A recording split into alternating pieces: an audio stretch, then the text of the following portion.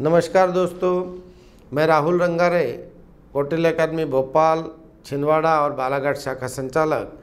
बारहवीं का रिज़ल्ट आया है, उन सभी उत्तीर्ण छात्रों को बहुत बहुत बधाई देता हूँ। और जो उत्तीर्ण नहीं हुए, वो भी हताश नहीं हो। जीवन में यह अंतिम परीक्षा नहीं थी। अभी जीवन में बहुत सारी परीक्षाएँ बची है।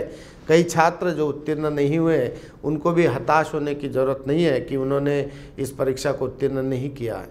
जो छात्र उत्तीर्ण हुए हैं, उनको बताना चाहूँगा कि आपका बारहवीं का जो वर्ष था, वो बहुत महत्वपूर्ण था। अभी आप ग्रेजुएशन करने जाएँगे और आप कैरियर के संबंध में आपका जो शुरुआत होगी कि आप कैरियर में क्या बनना चाहते हैं किसमें आपका लक्ष्य क्या है कि आपको क्या उद्देश्य है कि कैरियर में आप किस लक्ष्य को पाना चाहते हैं तो मेरा आप सभी लोगों से आ, कहना है कि आप उसकी बहुत अच्छे से काउंसलिंग लें और ग्रेजुएशन के साथ साथ आप जिस लक्ष्य को पाना चाहते हैं उसकी तैयारी करें।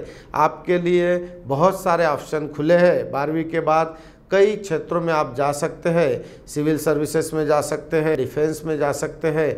कई प्रतियोगी परीक्षाओं के माध्यम से आप अपने जीवन में जो कुछ बनना चाहते हैं करियर में वो हासिल कर सकते हैं।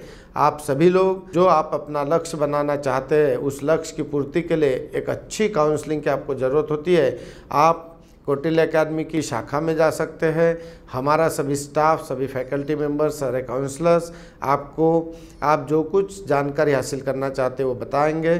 सिविल सर्विसेज़ में आपने देखा होगा कि कौटिल्य अकेडमी अग्रणी संस्थान है। तो हम चाहते हैं कि अगर आप सिविल सर्विसेज़ में जाना चाहते हैं तो आप ज़रूर कौटिल्य अकेडमी में आइए। आपको पूरा गाइडेंस मिलेगा कि आपको अपने लाइफ में क्या करना है, कहाँ जाना है किस कोचिंग संस्थान में जुड़ना है या किस पद को पाने के लिए आप लालयित है, उस पद को आपको कैसे हासिल करना है, यह निर्णय आपका स्वयं का होगा।